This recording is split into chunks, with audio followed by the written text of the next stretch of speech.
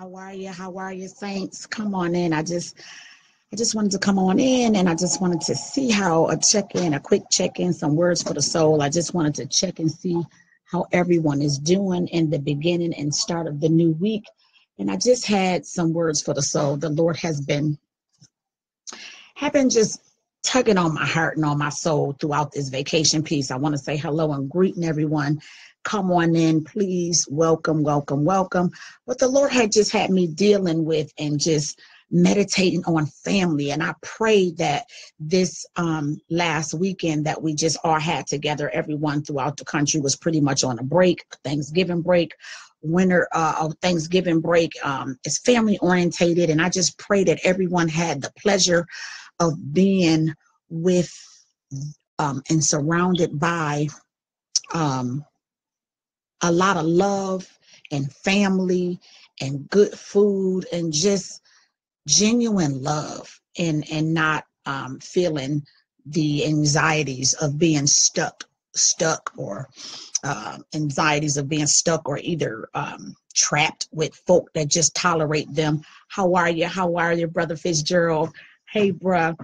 Um, or feeling the anxieties of feeling stuck or trapped with folks that tolerate them versus people that love and genuinely love and appreciate you and have your best interests at heart. So I'm really, really, really, really had been um consecrating and just loving on God and God loving on me and just God has just dropped a word in my soul and my spirit pertaining to family in the midst of this um, this season, this family season.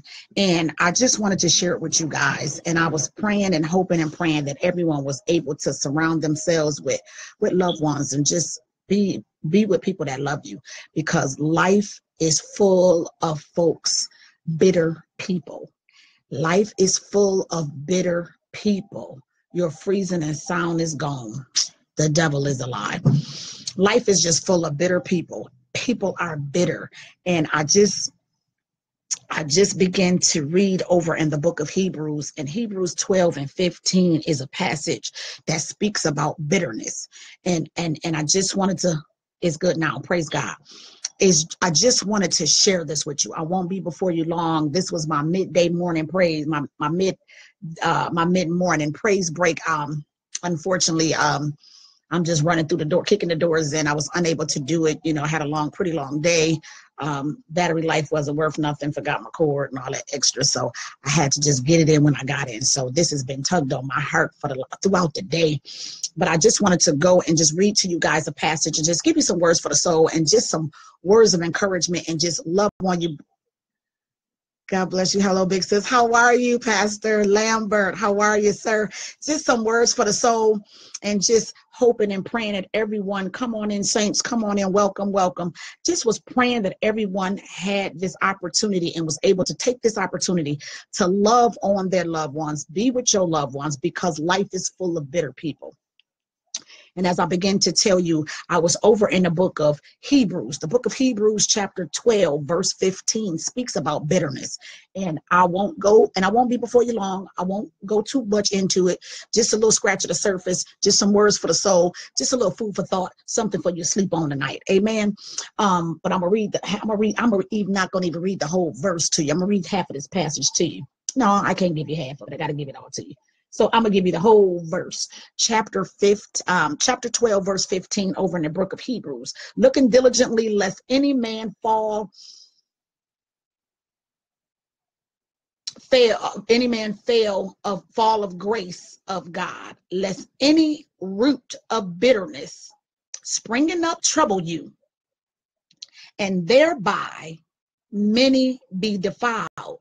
Listen, that's exactly what bitterness does. And bitterness is plaguing the lives of so of our loved ones, of us, of us, this, this, this, this is what I like to say. So we must be mindful and we must be careful not to allow the snares and the demon of bitterness to inhabit and to dwell and to overpower you. Let me let me I took some notes in the midst of um as God began to give me some things, I began to take some notes about some things. And I want to read you something that I wrote down within the last uh, 48 hours and throughout the course of this week. But these last couple days was really, really, really big with me with this bitterness and really, really big with me with this family orientation. Um, the book of Hebrews, like I just read, Hebrews 12 and 15, it does come as a warning and it sounds the warning and um and it's and it reads lest any root let lest any root of bitterness springing up trouble you, and thereby many be defiled. See, the root of bitterness is the, is responsible for much trouble in our lives. The spirit in the root of bitterness is the is is responsible for um for much trouble in our lives. I just want to repeat that one more time. The spirit in the root of bitterness is responsible for a lot of the troubles that's in our lives. And I'll elaborate just a little bit. Bitterness harbors, bitterness harbors, bitterness harbors in the heart, bitterness harbored in the heart for any length of time, people. Listen, saints, bitterness harbored in your heart for any length of time, any length of time will open the door for demonic invasion. It's a spirit. Amen. Bitterness is a spirit. And I'm going to tell you this This is one of the most common, this is one of, this is probably one of the most common open demonic uh, activities. This is one of the most common demonic doors that's open into the spirit realm. And it comes early on. And I'll tell you what, in, in majority of the cases, the bitterness is toward someone within the immediate family. This sort of kind of where this bitterness starts off at in families early on in the lives of family. Listen, this spirit comes to tear down and destroy families. It also comes to invade you. Remember, I often tell you guys, spirits come and they, they travel in groups, they travel in packs. They don't come alone, they don't come one by one. They don't. They're groupies, just like we as people. We come whatever spirit you have in you, trust and believe. If you don't know what spirit you have in you, all you got to do is check your surroundings, check your crew, check who you hang with birds of a feather flock together. Amen. Spirits that's in people gravitate to like-minded, like-minded folk. So I'm gonna bring that into the spirit world. That's one of my gifts is is is um, demonology, uh, uh, uh, casting out demons, and and having the gift of, of casting out demons and the gift of, of discerning of spirits. So this is what I specialize in. Prophetess Adams Outreach Ministry is a deliverance ministry. This is what we do here. We help get folks delivered, sanctified, and get them purified and cultivate their souls, getting them ready and fit for the master's hand. Amen. So this is what we do here at Prophetess Adams Outreach Ministries. This is my specialty and demonic possession and demonic, the demonic world, the spirit world, um, um, um, um, um intercessory prayer for the souls of, of those that are um, not saved or backslidden or whatever the case may be. This is what we do. We intercede on behalf of their souls to help them, to help God transform their minds, to get them back consciously enough to make a conscious decision to give themselves wholeheartedly to God so that they can get them their deliverance and so that they can get themselves to heaven. That's the ultimate goal is to get to heaven. And I'm saying all of that to say that this, these spirits of bitterness comes in groups. They travel in packs, just as people do. You find a crackhead, they're going to gravitate to some crack. They're going to gravitate to some crack and some people that's like-minded that knows where the crack is at. You get a pothead, they're going to gravitate to the pot smokers. You get an alcoholic, them spirits is going to draw him to alcohol or the alcoholics. This is what the spirits do. They drive us. They drive us. They control. So if you have demonic possessions, this is what's going on. But I'm just here to just touch on briefly about the spirit of bitterness. And we all can relate. This is a common spirit that us as common folk can definitely relate to because I know I can. Amen. And I just wanted to give us a little more insight as to be that we are able to be able to recognize some things because sometimes when you're most common so many people get spirits entwined or misconstrued with personalities with your own personalities. Amen. Oh that's just that's just so and so that's just how they is. See that's what we often say because we're not abrupt in the differentiation between demonic possession and and the person's individual personality. Amen. So i'm just here to let you guys know that listen that spirit of bitterness is normally embodied and it's normally something that's taken root in people and it normally allows hi hi god how are you? How are you nick? How you doing sir? And i'm sure everyone that's has a family can relate to this spirit that i'm talking about tonight. So we're talking about the spirit of bitterness. And nine times out of ten in majority of the cases um, the bitter bitterness is towards someone within the immediate family rather be your father your mother your sister your brother your aunt a cousin a relative a family member bop bop bop bop bop whatever the case may be we can go on for a season with the, the the pointing about of what who and what immediate families is. So you all get the gist of that. But bitterness the bitterness spirits it keep the bit of uh, the spirit of bitterness um, keep alive hurt hurtful incident incidents. I'm great. I'm so proud of you. Oh thank you so much nick. God bless you sir. But god you know i always looked at you and erica and y'all family as my family. I love you guys. I finally got connected with erica a few days ago or throughout the the uh the break. It was so good to see her when i saw her friend request in my uh in my uh my friend request. I thought that was, I'm like, ah, look at Erica. So send my love. Be encouraged. I'm proud of you too, sir. I see you doing big things, uh, family oriented. I love it. Send my love to your wife and the family. Um, but these spirits, the spirit of bitterness, it keep it keeps alive hurtful incidences. So that his job uh, is to keep keep keep fresh those uh, incident a hurtful incidents that happen things that happened years ago the, the spirit of bitterness will keep that thing fresh and keep you harboring about it. Ah, hi erica.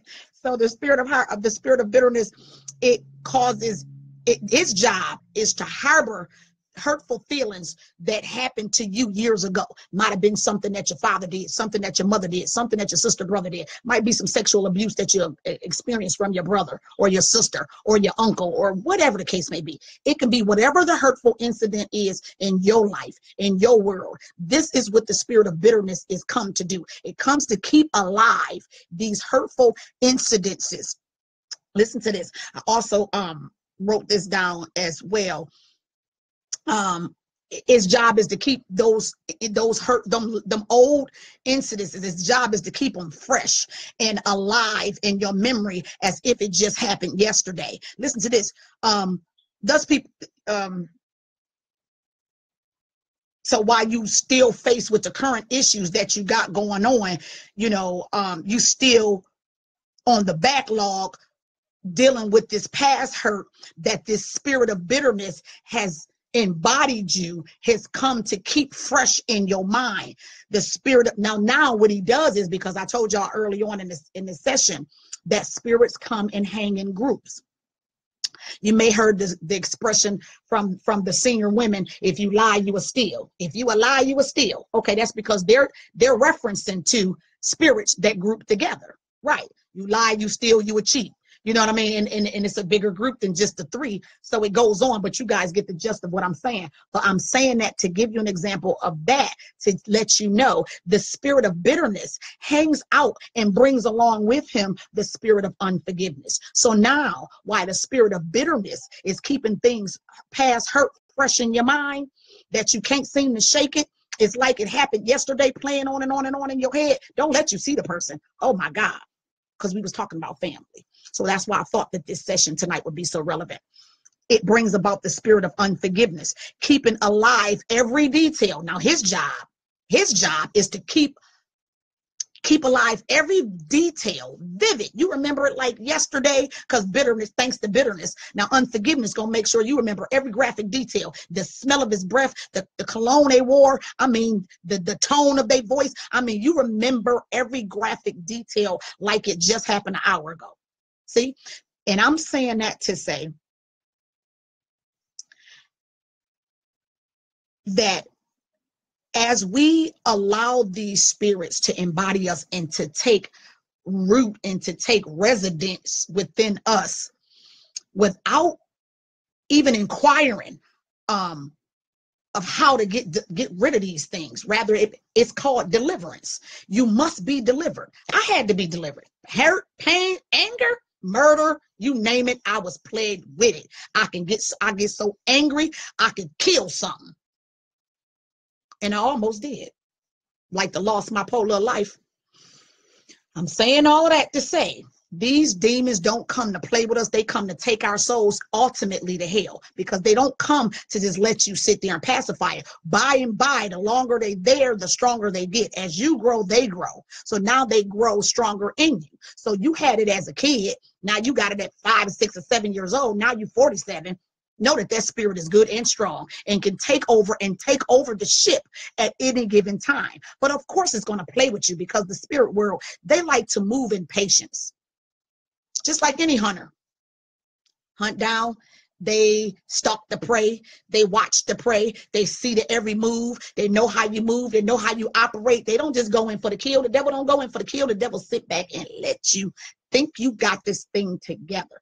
But I'm just saying all of that to say this. Saints, we are in a deficit. We are in a uh, we are in a spiritual warfare, and it's not enough of us going around that's teaching and and allowing and is gifted enough to allow to have a resolution to the issue to have a, a, a solution to the issue demons need to be cast out. You have to be demon possessed i mean demon uh delivered and, and delivered and set free of these things. And i'm telling you by and by they are not a good thing. It's not a good thing to have them it's not a good thing to be to, to allow them to stay. You have to know that you have an issue. That's like an alcoholic. It's not good enough that you realize that i got an alcohol problem. But see i have to come into the realization that i got an alcohol problem okay alcohol wasn't my thing. Give me some give me some weed. That was my thing marijuana. It wasn't it wasn't enough that everybody knew I was a pothead. I had to come to the realization that I was a pothead. And not only that I was a pothead, because I knew that early on when I started at 11. I knew what I was. I knew what it was. I knew what I liked. I knew what it was. What I had to come to the knowledge of is that this was a problem in my life. It was a problem. See, it was a gateway drug for me. The weed wasn't a problem. Let me tell it. But it got a, it became a problem when I started smoking woods. Now, when I started lacing it up, now I started seeing things shift and go into a negative direction. I couldn't see it with just the weed alone. I just thought it was a part of my personality. And it became a part of me because I started so early. That's how spirits get us. We start these things so early, they start growing up in us to where as though they become a part of us. And we should not, we can't differentiate our own personality from the demon personalities because remember they are personalities and they bring forth cravings appetites and personality traits right?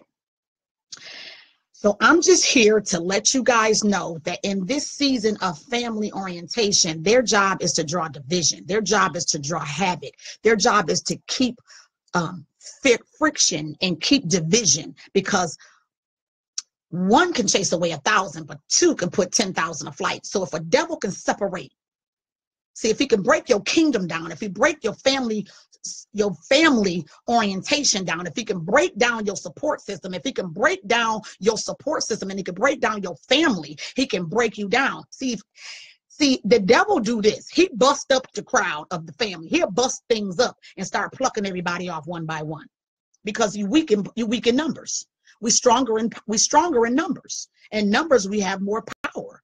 This is why we are the body of christ. And for the strong to bear the infirmities of the weak. But if you don't know much you can't do much.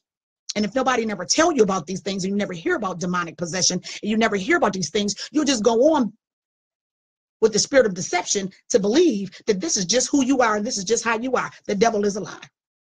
The devil is a lie Something took place somewhere in your life, in your childhood, in your past, in your growing up, in your youth that caused and opened doors. See, demons can't come in unless they're invited.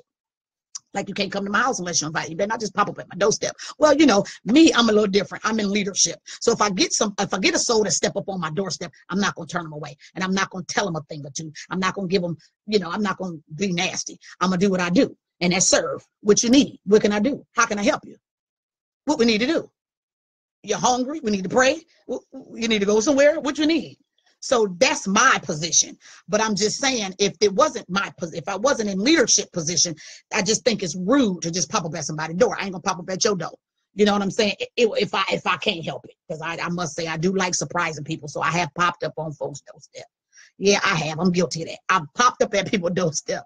But I'm just saying on a regular basis is not something that you would just do. I just think it's rude and it is rude. You know, you just don't just bust up at people's doorstep if you don't, if you can't help it.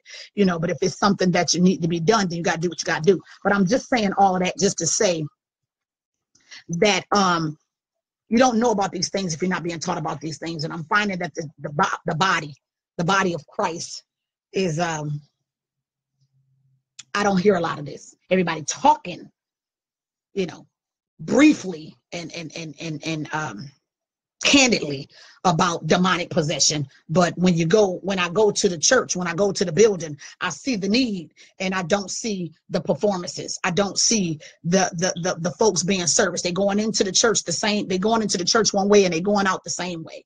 They're coming out the same way. Everybody want to be seen and heard and nobody want to service the souls of the people. So these people are just sick. You got souls running around here sick demon possessed demon possessed and can't find a solution and going on bunkers because they don't know what's wrong with them because nobody's teaching. Everybody want to hoop and holler. Don't nobody want to teach. Don't nobody want to teach. Nobody want to humble themselves before the most high god so that he can equip them with the gifts of casting these demons out. He said that the harbor the labor is the the the, the harvest is plentiful but the labor's a few. He need we need more laborers in the camp. We need more laborers in the body of christ. They folks need to be delivered that's the problem, saints. So I want you to take some inventory in this season. Take some inventory in this season that we're in. Make a list. Find out some things about yourself.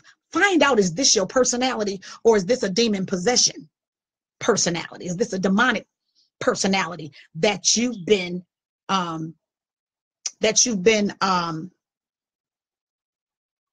that you've been carrying around all this time okay and and and and and and and, and, and let's get something done about it it's time out saints it's time for us to get our souls right and bitterness and unforgiveness we cannot get to heaven this way you cannot. If you don't forgive your brothers, your sisters, your mama, your father, whomever of their trespasses, neither will your Father in heaven forgive you of yours. Amen.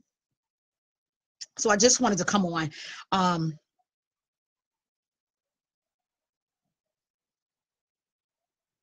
and and like I say, and if you check a little closely to that spirit of bitterness, wherever um, wherever the attitude of bitterness is found, one one may expect to find the demons of bitterness, resentment, hatred, these are some of the groupings that hangs with that spirit. Unforgiveness. These are some of the spirits that hangs with bitterness. Unforgiveness resentment hatred. Um in some instances the chain the, the spirit chain that goes includes a whole lot of others. Some people have all of the the whole grouping. Some people just may have a few of the groupings out of the group.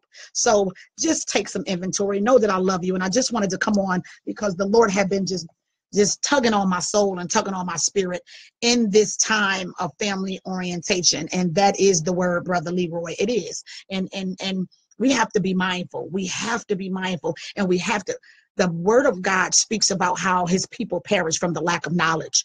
And we are dying we are dying and dying like dogs in the street some of us uh, most of us i should say 99.99% of us are dying like dogs in the street because of our lack of knowledge our lack of knowledge, not of anything else, but our lack of knowledge of this word. The word of God is the roadmap to heaven. It, we, it's a formula to this thing, saints. I'm telling you all, it's a formula. We can't get there any old kind of way. You're not living no hellish life. Let me just say this. You're not living no hellish life thinking that God is going to invite you into heaven.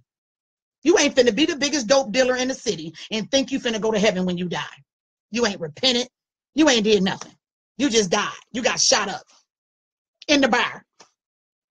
Come on, saints. Come on. We got to know better.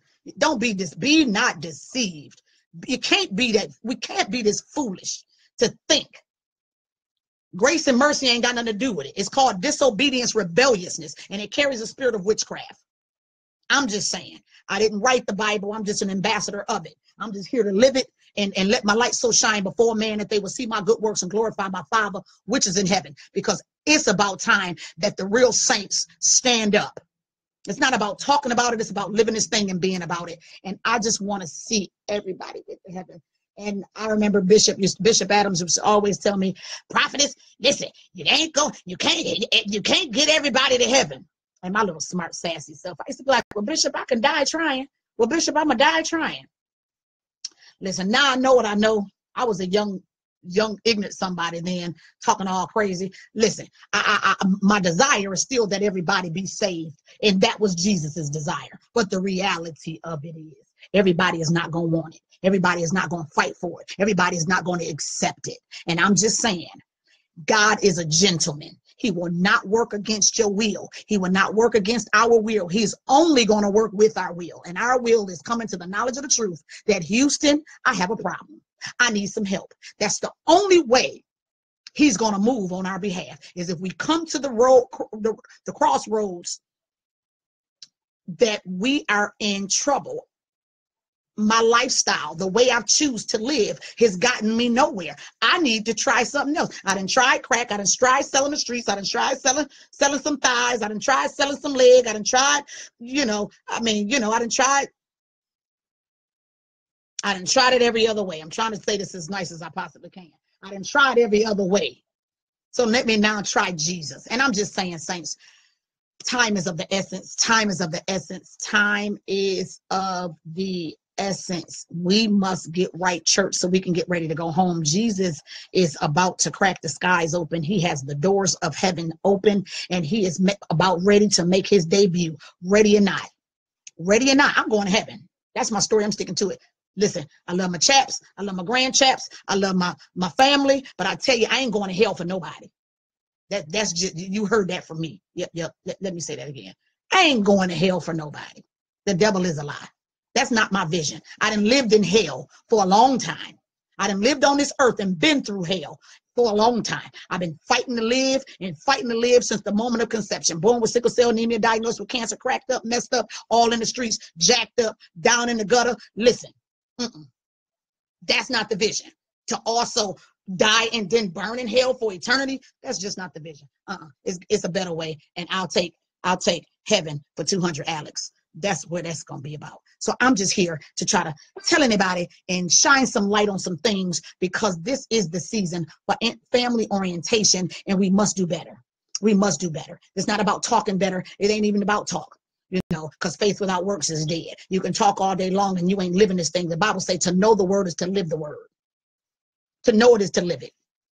The devil can quote scripture. He know the Bible from Revelations, from Genesis to Revelations. The devil knows scripture, word verbatim. He was quoting it to Jesus over in Matthew. Check your word. I'm just saying, the devil knows scripture. And for those that ain't so equipped in the Bible, the devil will beat the dog slop out of us with the word of God. He will take the Bible and beat us with it. So you got to know your word. Not just know it, but you got to be living your word. You have to build a rapport with the Lord. You have to build a relationship, solid relationship, same relationship, same time we put with these men. Yeah, same time you put with building that relationship with that woman. Yeah, yeah, yeah. That's the same kind of time, energy, and effort that we must put in with the Most High God. It's not going to happen no other way. Amen. So I said, I promised that I was not going to be before you long, but I just couldn't hold on to it no longer. I just needed to come and get that out, and I have to get myself. Whew, I had to say that because I need you guys to know that we have to be mindful. Listen, don't allow the spirit of bitterness to cause you to respond. Don't allow the spirit of bitterness to cause you to respond. Don't respond. Don't allow it to make you bitter. You have to forgive them for you. You have to forgive them for you. You have to forgive them for you. It's not for them, it's for you. I had to forgive my loved ones. I had to forgive my loved ones. Amen. I had to forgive my loved ones, and you have to forgive them for you. Welcome, Prophet Jermaine. How uh, Jeremiah? I'm sorry. Welcome, Prophet Jeremiah, sir. How are you? How are you? Come on in. Um, so I love you guys. And I just wanted to come on in and just say, be encouraged. Take some time to do some inventory and to check self. Um, and just see where you at, where you stand, where you are, where you are, where are your relationship, where is your relationship with the Most High God? If you died today or tomorrow, where would you go? Amen. Do you know that you know that you know that you know that you know that you'll make it to heaven? Are you compromising? You got idols, you idol worshiping, you put up a Christmas tree, you're getting ready for Christmas. I'm just saying, saints. I ain't gonna go in on y'all with that Christmas thing, not just yet, but it's coming. It's coming. I want y'all to read Jeremiah 10. Je- read Jeremiah 10. It's a pagan holiday and it will send you to hell. Christmas is not Jesus' birthday. There is no known date. And he did it because of this reason right here. Everybody's celebrating idolatry. He told us not to do any of the practices that our forefathers did because the same God that spewed them out will also spew us out. So that lets me know that the forefathers before me that celebrated these pagan holidays ended up missing heaven. And that God warned me not to do it so that I don't miss heaven. Forget them kids. Y'all better stop lying to them kids and be honest with them kids because liars is also going to have their part in the lake that burns with fire and brimstone.